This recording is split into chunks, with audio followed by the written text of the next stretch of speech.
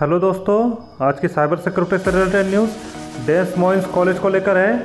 तो दरअसल न्यूज़ ये है कि Des Moines area community college, जो कि लोहा में है, उसके आईटी सिस्टम्स पर साइबर अटैक हुआ है। इस अटैक के कारण उनके टेलीफोन सिस्टम पर इम्पैक्ट पड़ा है, और साथ ही साथ उनको सारे ऑनलाइन लेक्चर्स को भी कैंसिल करना पड़ा है।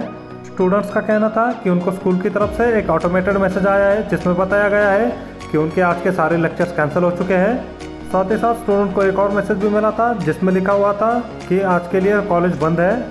फ़िलहाल आईटी टीम इस घटना की जाँच कर रही है। इस हैकिंग के पीछे किस हैकिंग ग्रुप का हाथ है, इसके बारे में कोई भी इन्फॉर्मेशन सामने नहीं आई है। अगर आपको ये न्यूज़ पसंद आई है तो इस वीडियो को लाइक और शेयर कीजिए। अगर आप इस वीडियो को यूट्यूब शॉर्ट्स पर देख रहे हैं तो चैनल को चेकआउट करना मत भूलिए।